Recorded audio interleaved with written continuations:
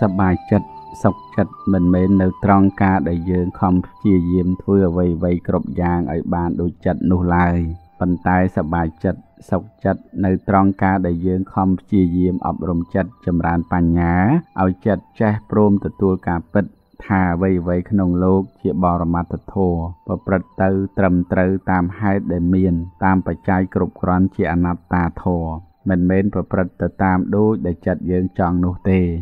ហេតុនៃសេចក្តីទុកនៅក្នុងចិត្តខ្លួនឯងបរមសុខនៅត្រង់ការអស់សេចក្តីទុក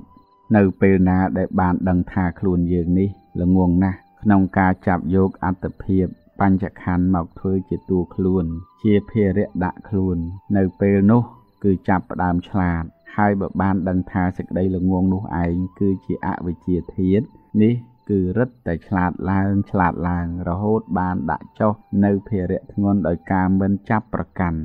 គេជេរយើងយើងស្ងៀមគេបាបយើងបន់បន់ជាដើមទុនកុំខ្លាចបន់ឡាយព្រោះបន់នាំមកនៅសេចក្តីសុខទឹកហូរពេលវេលាហូរចិត្តក៏ហូរអ្វីអ្វីសុទ្ធតែហូរទាំងអស់សំបីតែការហួងហែងក៏ហូរដែរមានតែការមិនហួងហែងប៉ុណ្ណោះទៅមិនហូរ ហើយជាបរមសុខព្រោះជាព្រះនិព្វានរួចផុតចាកទុក្ខហេតុដូចម្ដេចបានជាមនុស្សយើងចេះតែគិតតតាំងចង់ខ្លាំងចង់ពូកែតែជាមួយនឹងអ្នកដតីប្រសិនបើយើងខ្លាំងពូកែជាមួយនឹងកិលេសខ្លួនឯងបានវិញនោះលទ្ធផលដ៏អស្ចារ្យគឺទី1មិនមានអ្នកណាដែលសម្រាប់ឲ្យយើងស្អប់នោះឡើយទី2ដោះស្រាយបញ្ហាបានគ្រប់រឿងពោលគឺអត់មានបញ្ហា ទី3ជោគជ័យជាទីបំផុត គឺឈ្នះសេចក្តីទុក្ខទាំងពួង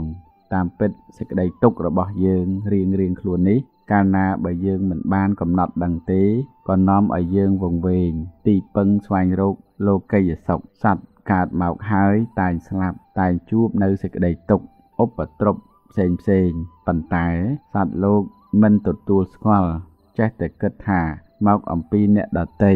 មិនយល់ថាព្រោះមានជាតិជាបច្ច័យឡើយដរាបណានៅតែប្រកាន់សេចក្តីទុក្ខនេះថាជាតួខ្លួនដរាបនោះគឺមិនអាចឈ្នះសេចក្តីទុក្ខបានទេ ដូច្នេះទើបត្រូវស្គាល់ទុក្ខតាមពិត។